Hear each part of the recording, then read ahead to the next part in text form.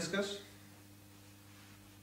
what is sovereign debt, discuss the various ways in which government can generate it, and what principles should it should guide this process. Okay.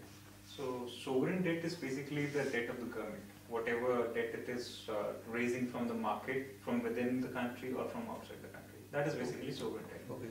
So, uh, you know, state governments, they can get loans from central government, but whenever central government needs a loan, it needs to raise it, whether through the treasury bills, you know, the money market instruments are there, or it can go for the financing from uh, maybe World Bank or maybe some other investment source, IFC and all. क्या state government जब date raise करेगी Hmm. Can this also be called as sovereign date Sovereign is mostly one in any state, and that is the center.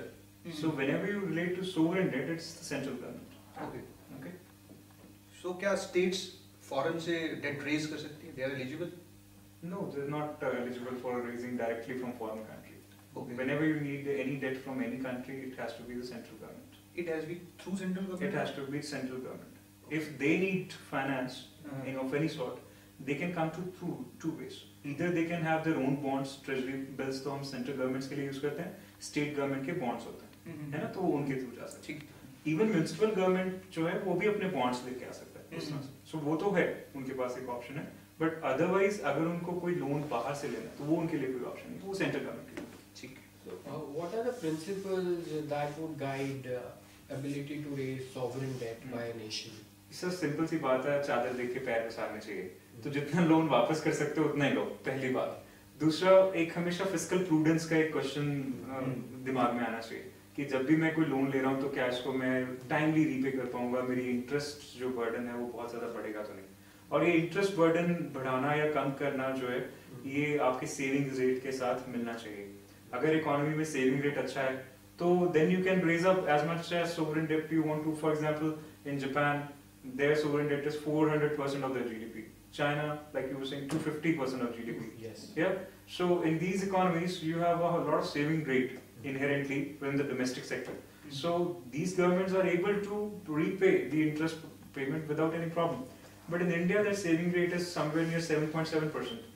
So if your fiscal deficit is 4% and your saving rate is uh, 7.7%, cumulatively you are going to take loans, you know, out of the private liquidity tank, and that loan is going to go there. So out of 7.7%, 4% goes to the fiscal deficit, you know, for the sovereign debt, and uh, 1.5% in India is required for public sector units for their debt management. So you are left only with 1.2% for any kind of investments. So what about the corporate saving? See, corporate saving is hardly there in economy. Okay. In any time you make extra money, profit, etc. So corporates always would like to reinvest into their uh, company and uh, gain further size, okay. Uh, which is called the organic growth. You know, mm -hmm. so that kind of growth or inorganic growth, they would mergers and acquisitions. So that is what they would like to do, rather than uh, have savings.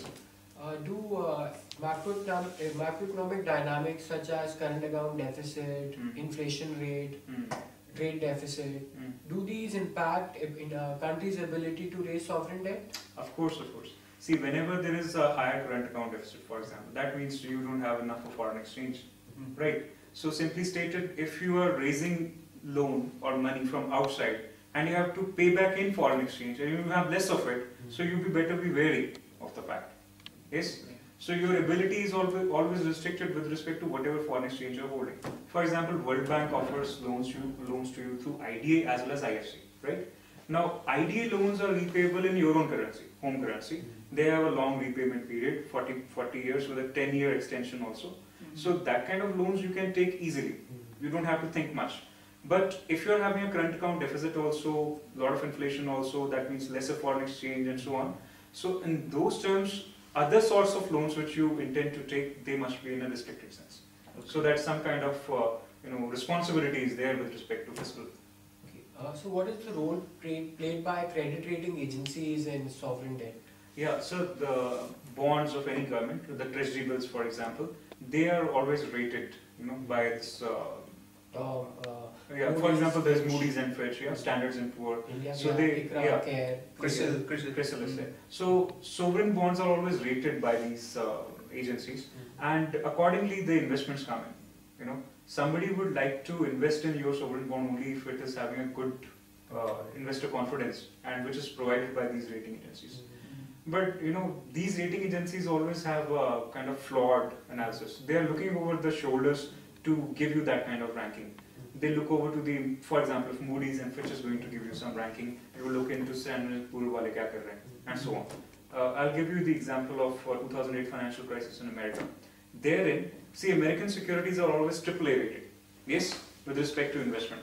But still financial crisis happened because back in the day nobody was looking into the question as what is exactly backing those securities. Nobody went into that question. They just said ki theek hai, AAA rated hai, invest karo. So they went into that scenario. Now you need to create an investor confidence in your economy. Whenever you are looking for sovereign debt, I think three or four equations we can now correlate. Like you should have enough saving, saving scenario, better investor confidence, and fiscal prudence in the longer term sense.